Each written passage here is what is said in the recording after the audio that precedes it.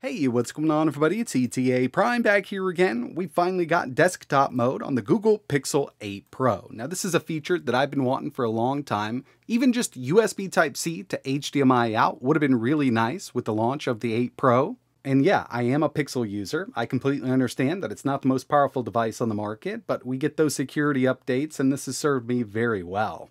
Now in order for this to work at the time of making this video, you will need to be on the latest beta but this is slated to come with the official release once it's out. You can wait it out if you want to, or you can opt in for beta updates over on the website. I'll leave a link in the description. Really easy to do. You just opt in and they'll send you the beta update directly to the phone. You don't have to plug this into an extra PC or anything like that. And in this video, I want to show you exactly what can be done here. We've actually got two different modes. We can mirror the built-in screen, which is great for just getting a larger display, or we can completely go into desktop mode. And desktop mode is exactly why I really wanted this feature. But before we get started here, in order for this to get up and running, you're going to need some way to connect your Pixel device to a TV or monitor. Personally, I suggest one of these cheaper USB Type-C to HDMI adapters.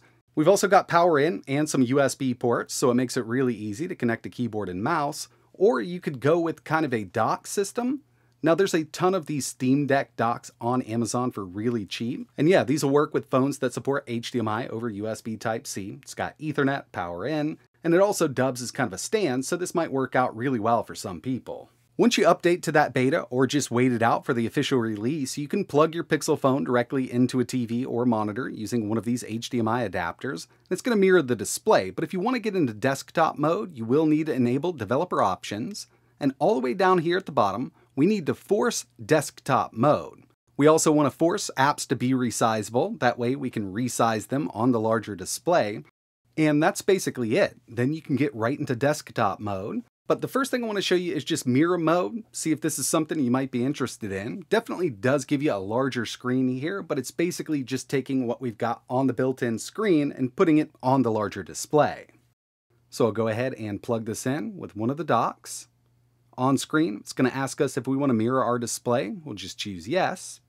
Wait a few seconds, and now we've got video out to a larger display using the Pixel 8 Pro.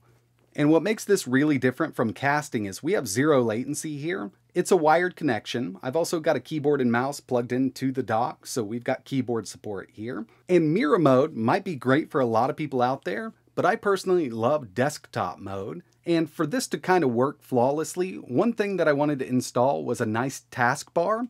Over on Google Play, you can get an app called Taskbar. What this is going to allow us to do is just have a nice little app launcher when we're in desktop mode. Very easy to use, you'll install it, enable desktop mode, and you're good to go. And with desktop mode enabled from developer settings, it's going to look a little something like this on our second screen.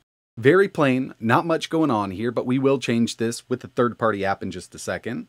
We've got a app launcher, and we can put these on our home screen if we want to, just to have easy access to them.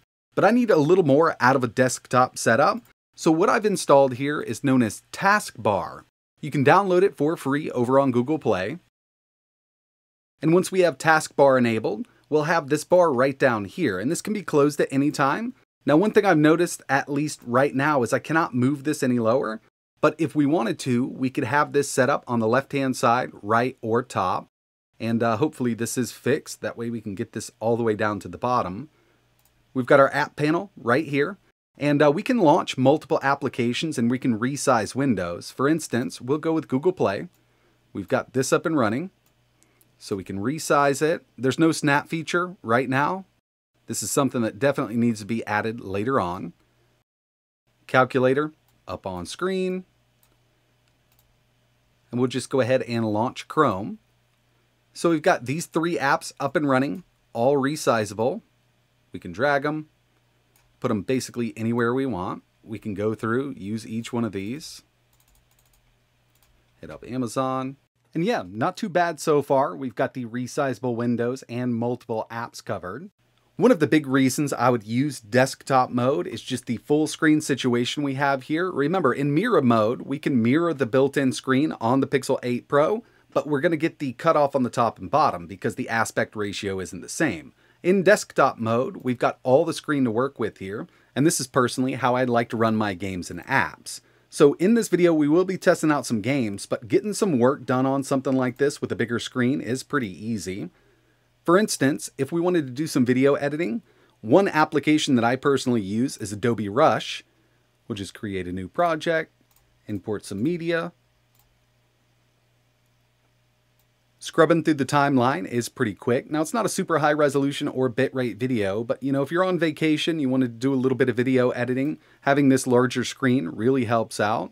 We can go through, trim, we can add different effects if we want to. Adobe Rush isn't top of the line, but for a mobile editor, it'll definitely get the job done. So yeah, you can definitely edit video with this in desktop mode. And when it comes to photo editing, I just installed uh, Photoshop right here. And again, just like Adobe Rush, this isn't top of the line, but uh, if you're on the go, you want a larger screen to work with, we can zoom in here Let's go with the background adjustment. I think, there we go. Yeah, simple edits, no problem at all. Video editing, photo editing on the Pixel 8 Pro in desktop mode is totally possible. You want to get some work done, you use Google Sheets, or if you use Outlook, you could always install it here. You've got enough room to kind of get all of your columns up, depending on what you want to do. Browsing the web, and with this, just at ESPN, we're going to request that desktop site. There we have it. So we're not on that mobile browser. We've got everything here. Everything loads up pretty quickly. I am connected to Wi-Fi right now. So far, looking pretty good for desktop mode on the Pixel 8 Pro. Definitely want to see some more DeX-like features come this way. But uh, next thing I wanted to check out was some gaming. Now you will run into a few games that just don't natively support controllers on Android, and I have not been able to get a third-party mapper working in desktop mode on any device that I've ever used. So games like Genshin Impact will have to be played in mirrored mode, but you'll still get more screen than you have on the smaller screen with the phone itself. But with something like Minecraft, we'll be able to go full screen, no problem. And we do have the built-in frame counter because we've got the uh, Google Games installed on the Pixel. So right here, we've got the real-time frame counter running at 60 go ahead and jump into a world I created. Xbox controller connected over Bluetooth. For Minecraft here, I forgot to enable external sound. For the next one we test, we will have sound coming out of the TV or the monitor itself. I just kind of blanked on it when I started this up. We're at 18 chunks, and the Pixel 8 Pro doesn't have the most powerful CPU on the market, but it does handle these native Android games pretty good. Next up, we've got Grand Theft Auto San Andreas, and this is the Netflix version, so if you have a subscription to Netflix, you can actually download this on Android. Not exactly sure if the paid version does allow you to up the frame rate, but as high as we can go with this on Android right now, at least with the Netflix one, is 30 FPS, and it is a bit noticeable. I know a lot of phones out there would run this just fine at 60. Because even with a game like Call of Duty Mobile, we can get this up to high settings 60 FPS on the Pixel 8 Pro, and even in desktop mode, we're seeing some great performance. I am using an Xbox controller connected over Bluetooth, and for some of these games, if I wanted to use a wired controller, they will detect it, but not every single game will detect a wired controller for Android for some odd reason. It's really hit or miss, but having a Bluetooth controller connected works out just fine for games that natively support controllers on Android. So what we've taken a look at so far are just Android games. I also wanted to test at least one emulator. So we've got some PSP using PPSSPP, 3x resolution, Vulkan backend, Chains of Olympus running at 60. I've got the built-in frame counter for the app itself on screen in the top right hand corner. Great performance with PSP when it comes to the Pixel 8 Pro.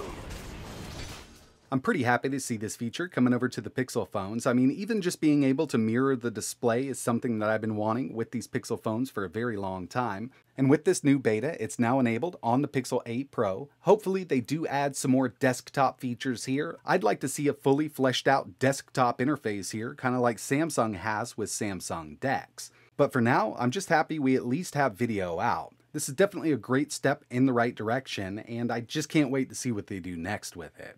But that's going to wrap it up for this one. If you're interested in testing this feature out on your Pixel 8 Pro, I will leave a link to their beta website. All you really need to do is opt in and it'll automatically download on your device. So, uh, I mean, it's really up to you. If you want to wait for the official version, you can definitely do that also.